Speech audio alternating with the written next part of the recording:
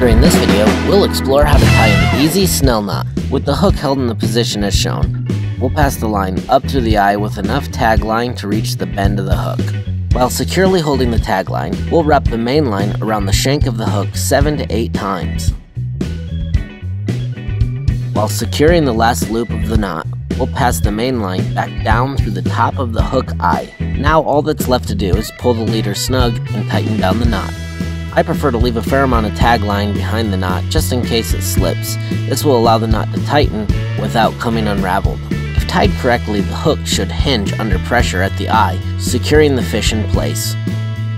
And that's how you tie the easy snell knot.